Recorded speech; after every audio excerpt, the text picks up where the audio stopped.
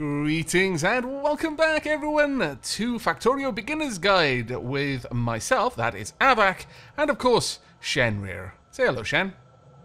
Green Mario says hello. Well, Green and Mario should jump into the train before it leaves without us. This is Copperfield. As we mentioned in our previous episode, we were going to be doing a little bit of work off camera, uh, which turned into a, a lot more than a little bit of work because there were lots of things I needed to do. But effectively, I have set up copper mining in a couple of different places, and you'll also notice quite a few fields of solar panels and accumulators because it is getting increasingly difficult to fuel our base on um, fuel blocks because of a bit of an oil shortage. Yep, but we have also tackled the oil shortage, so hopefully that will uh, catch up with the requirement, uh, the supply. I mean, but yeah, we've we've been tackling a lot of things that that just have cropped up as we started to get into a lot of the late game Yeah. production. We wind up using a lot more copper, so we obviously knew we would need some of that. Mm-hmm. Uh, but the, the lack of oil was actually kind of a bit of a surprise. But I'm glad we took care of it, and it looks like electricity's good, copper's good, and I guess if I check on the oil real quick, we'll know if that's good. The accumulators actually managed to carry us all the way through the night with, with quite a lot of ease. There's about a quarter to half of the accumulators um, battery remaining by the time that daylight comes around. Now the steam engines are all off. The steam boilers they they're all off. We we have virtually no fuel blocks getting to them, which is a shame. And hopefully, as Shen said, that will catch up. But as you can see, we've got all of our copper um, smelting backed up completely with ore. Um, and that's partially because we're not using too much copper right now. We've done a Oh, couple of little things. that. Oh yeah, we will. Uh, a couple of other little things to mention. Obviously, this is a little copper offloading station. All of the train stations no longer get their fuel blocks delivered to them by belt, so they now have requester chests, which make things a lot more uh, efficient. And currently, I'm waiting for a, another copper train. I think this is it. No, it's not. Damn it. Um, to show off the other copper stations that we have. Currently, we have copper fields over to the west. Oh, over here it comes. Here it Oh, comes. here it is. Moving quite quickly. There we go. We can jump I'll onto in this. this side. But we also have um, Copperton, uh, I think it's Copperton and Copper Shore. And we'll be, this particular train goes to both on its regular route. But as you can see, there's a lot of accumulators, a lot of solar. The factory is effectively completely running off solar now. But as you can see from the map, that hasn't really greatly impacted the amount of pollution we're producing. At the moment... It- oh, go ahead. And I was just gonna say it's it's noticeably less red, but it's Yeah. still a lot of pollution. At the moment, all of the mines are, effectively shut down because there's no work to be done, and that is a very big reason why there's not as much pollution there. But you can see there's a lot of new uh, connections on the train lines. This this little area is pretty much completely out of copper. This is one of the easier places for us to get to. So while I'm here, most things are now hooked up to the uh, robot network, so it's oh, very yeah. easy to do a lot Destruction of orders. Yeah, just from afar. There we go. We'll get those. That's so as well. convenient. you don't have to There go we are. pick anything up anymore. You just use robots. Most of this I did off camera with robots. I, I just walked around and I said, "Yeah, build this for me," and then I, I left, and I'd pop back a little bit later to find it all built. It was great.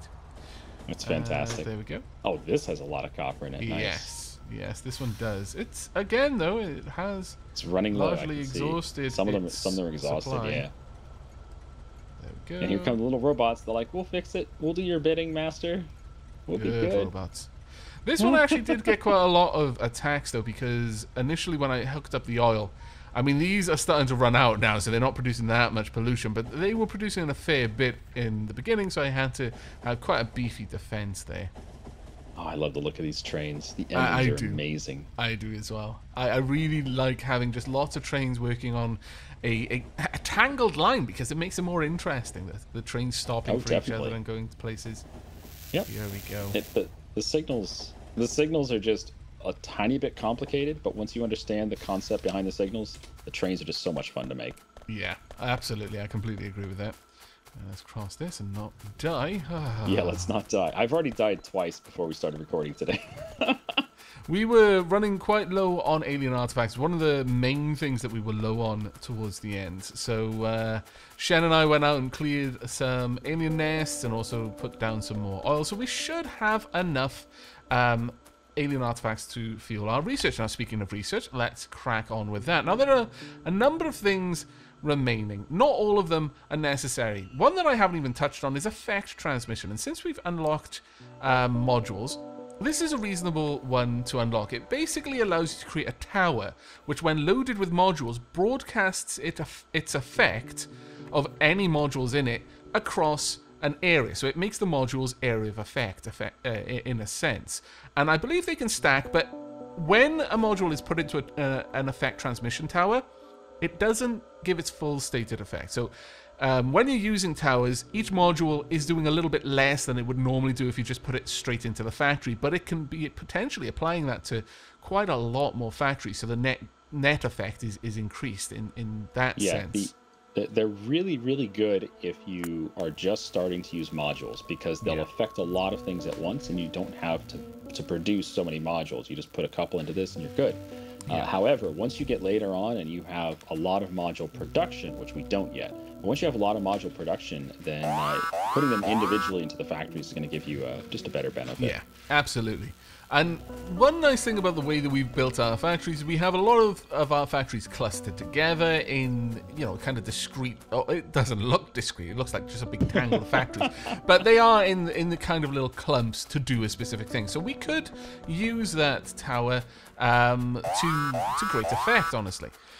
Now over here I've set up automated production of just some request chest and provider chest because we were using those a lot on the network but other than that there's not much more we have done. However the factory has been running for a little while while we've been doing some work and we have a little a while full chest, a full chest of blue circuits. That should carry us for a while. How many hours is a little while? Just to give people an idea of, of Well I mean we've been working on this for about almost two hours now since the, the recording set started, and uh, it probably ran for uh, two or three hours with nothing happening to it overnight as well.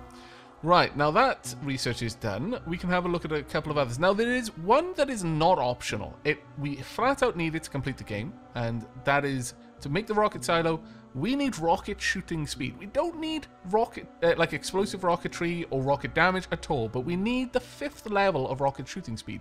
This is an expensive one because it is going to constantly use alien artifacts to do. Uh, so we're going to start work on this, but that is probably going to be something that we're not going to finish in this episode or even the next one. So what are we going to be doing in this episode then, Shen? I think today we're going to show people how to do module production, but not just the low-level modules that we've been making in our pockets. We're doing module production via factories to make it a little faster, a little yeah. more efficient. Yeah, that sounds good.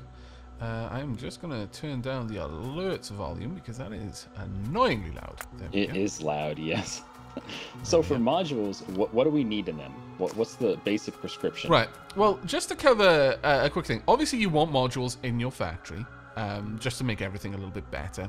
You might not want the best modules because they're very expensive compared to the lower oh, tiers yeah. of modules. T- so, take into account that not only do they take alien artifacts and mm-hmm. processing mm-hmm. units, but they also take the previous level of module. Yes. Not just one, but multiple levels. Yeah, that's where it gets really expensive. Honestly, for just regular use, I would say speed mo- like the, the second tier of modules. Don't go to the third until you're at a point where your factory's producing a lot of stuff and you can.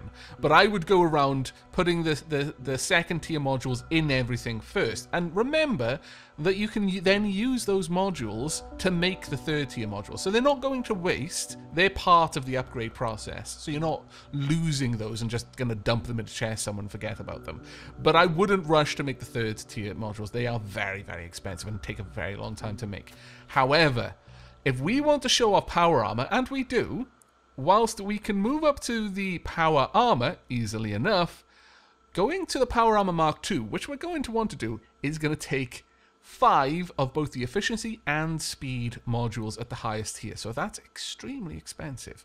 Yeah, um, check out check out the total raw materials needed. Yes. It takes 19.3 thousand seconds 3.3 thousand iron, 7,000 copper, 40, uh, 40 steel, 60 alien artifacts, Mm-hmm. 2.4 thousand plastic, which is a ton, Yes, and that is a lot. 300 processors. That's Yeah. a lot.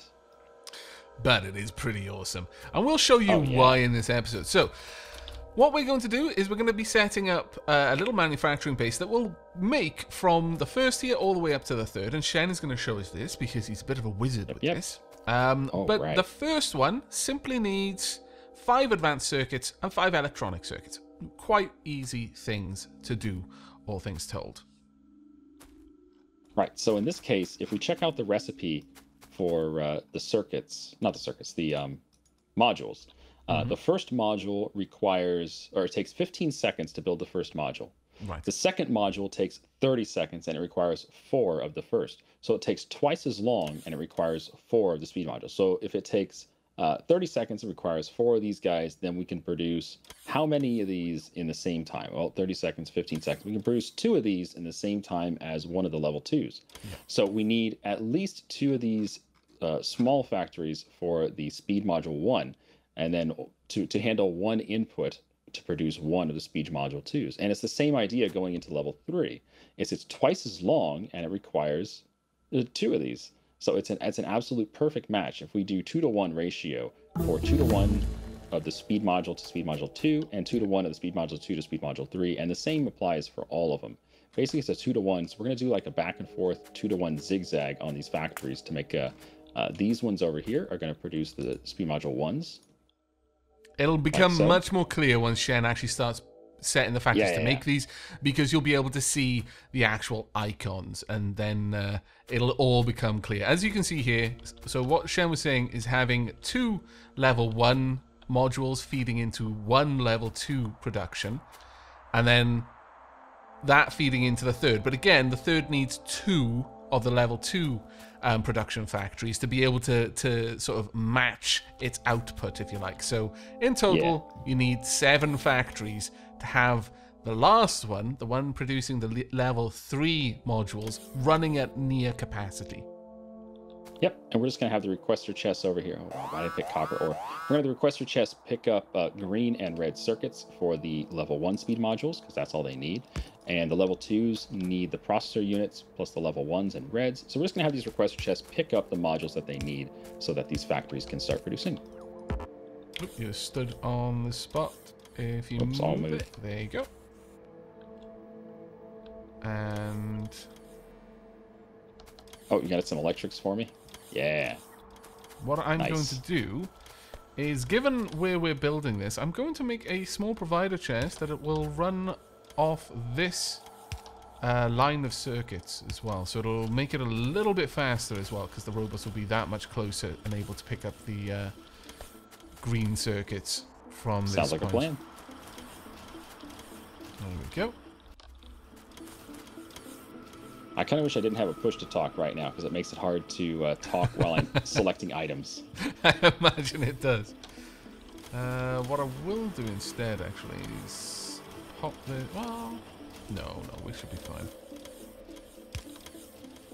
There we go. I'll make a, uh passive provider chest there.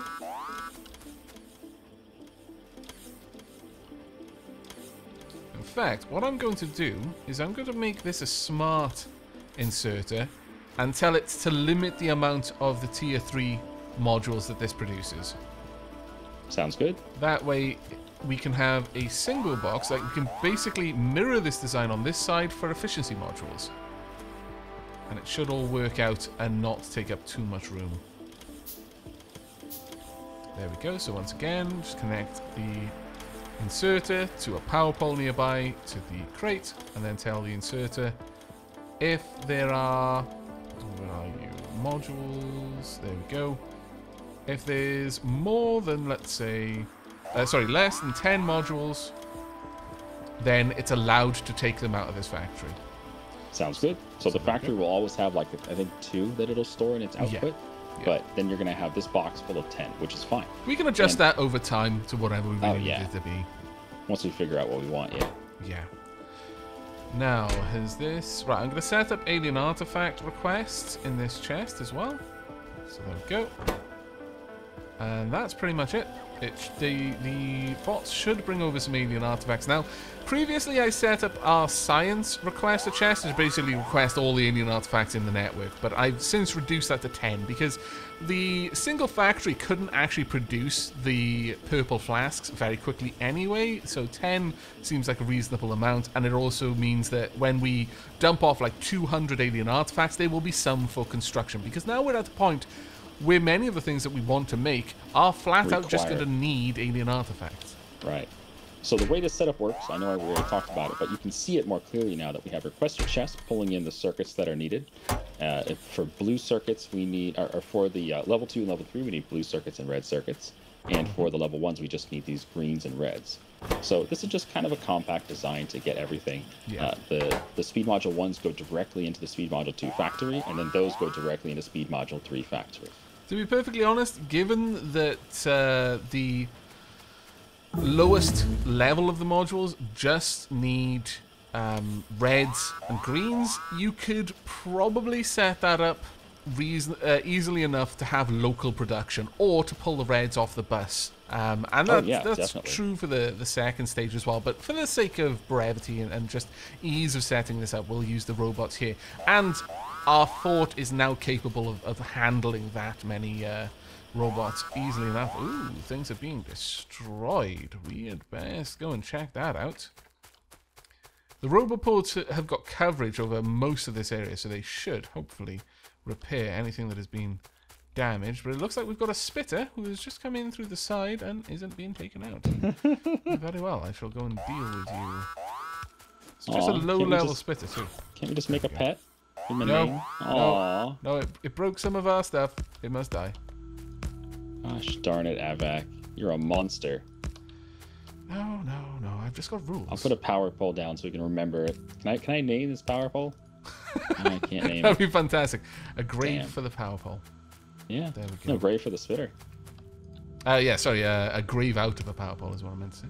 So I'm going to set up the exact same thing that we did for speed modules, but I'm going to do it for productivity modules because that's we need speed and productivity for the Power Armor Mark II. Is that right? That uh, no, not productivity, efficiency. I know efficiency. it's the one that you hate, okay. but alas, I hate efficiency. I hate speed modules too. Okay, so that's all sorted and will be repaired for us. I will just make my way back over. That should be fine on its own. The the the uh, robot network will be able to take care of everything by itself. We don't need to worry too much about that. But yes, we definitely should have production of the um, productivity modules as well.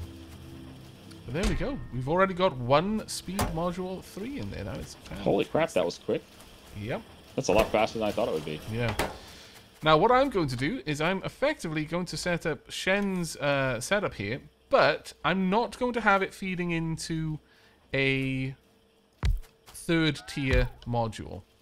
I'm just going to have these two set up like this, so much like Shen has had, but then feeding into a single um, passive provider chest, just so that we get level 2 productivity modules. As I mentioned, I feel that there's really no need to go up to level 3s unless you're really desperate to have the most uh, efficient design that you can um, for some reason. Perhaps uh, you are really struggling with resources, so it makes sense to try and eke out the very, very uh, last bit that you can out of every resource. Uh, actually, we can make this slightly more efficient by doing it this way.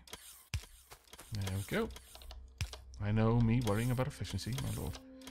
Uh, there are so many robots flying over us right now. I know. it's a little bit, a little bit crazy. Um, and then in here, much the same. So these ones are just going to need a few greens, not nearly that many though, and a few reds, and again, not nearly that many.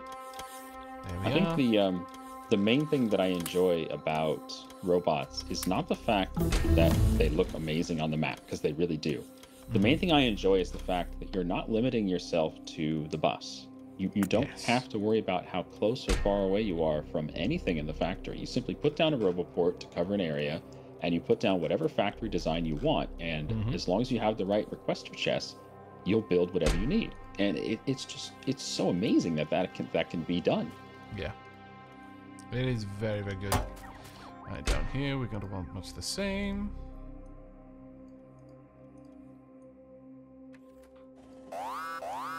And blue circuits this time as well. And then we should be good in just a moment. There we are. I forgot, is it possible to cut and paste the uh, logistics uh, orders? I know it's possible to cut and paste a factory's production, but is it possible to cut and paste a logistic order? Do you happen to know? I don't know. That's a good question. I was trying to, but I couldn't seem to do it, and I assumed that it might be because I'm faffing around and have forgotten the correct hotkey, but uh, I think it might not actually be possible. It's a bit of a shame. Ah, Scallywags.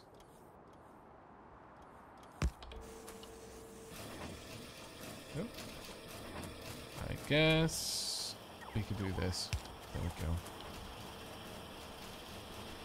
Alright, so we should now have the uh, tier 2 pro- um, productivity modules being created. Unfortunately, you can't put productivity modules into uh, end products. You can only put it into e- intermediary products. So we can't stick the productivity modules into the productivity module building, which Yeah, is a oh great man. shame. That'd be amazing. It is a great shame. It used to be possible, and uh, people would do that. They pretty much all of their modules would have productivity because it made a lot of sense. It made more modules. Yeah. Unfortunately, no So. I, I missed I missed what you were saying here about this. So you, you have productivity doing the exact same setup that we're doing up there, but instead of making productivity level three, you're only doing level two. Yeah. Gotcha. Yeah. Are you limiting the box in any way?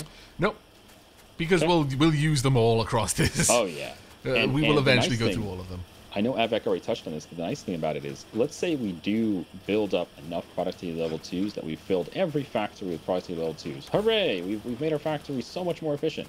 Well, Mm-hmm. then we can plunk down to level three and just take all the level twos out, throw them into the level three, and start putting level yeah. threes around. You never really, like, they never really go out of go out of style. You can just keep using them. Never go out of style. Glorious. hmm Is this getting everything it needs? It appears to be, but uh, hasn't begun. Needs one more. Oh, right, right. It, it needs one more. Yeah, quite correct. Quite correct. I think it needs some more. Uh, Now, this is the beacon. artifacts too. As you can see, the yellow area around it, in fact, I'll place that down and Shen can pick it up, but the ye- yellow area around it is its um, area of effect. So every factory, everything that can be affected by a module within the, that yellow area of effect there will be affected by whatever modules you put inside, and it can hold two modules. It needs to be powered though, so you're going to have to account for that. It'll need some room for the power as well.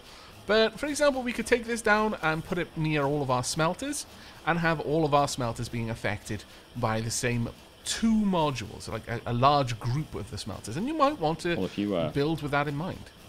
if you uh, mouse over it, it tells you distribution efficiency is 0.5.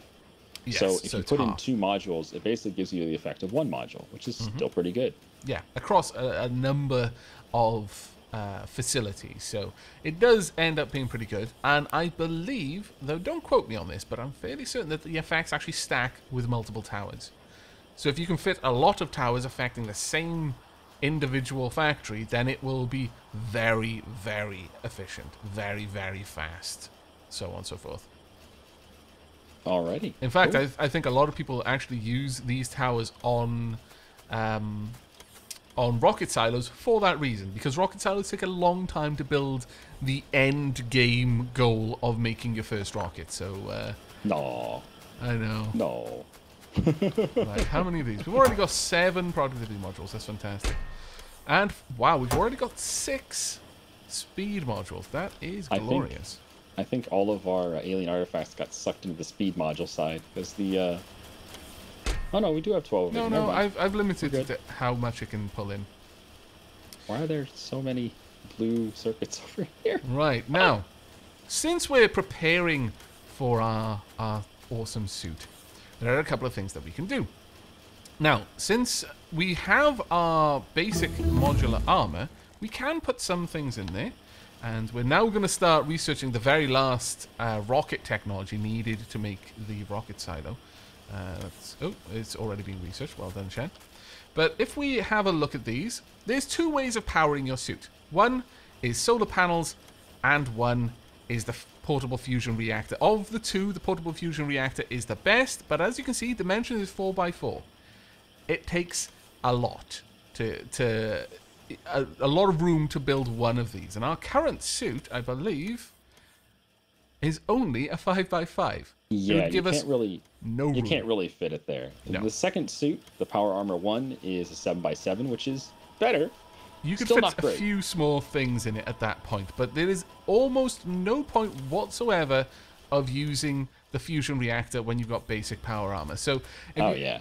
what we'll probably do is we're going to let the factories produce a bunch of modules between this episode and the next. And in the next one, the entire episode is going to be dedicated only to making and playing with the modules. We'll give you a demo of exactly how powerful you can make your personal armor suit with all of the doodads and gadgets once installed. So, uh, shall we wrap things up there? Well, and then when you press C over your friend Count of Acula, he won't just die. He won't. I might die of broken heart. But yeah, thank you guys for watching. Hope you all enjoyed this episode today, talking about wonderful copper trains, wonderful oil, and of course, wonderful modules. Thanks for joining us. We'll see you next time. Take care, everyone. Thank you.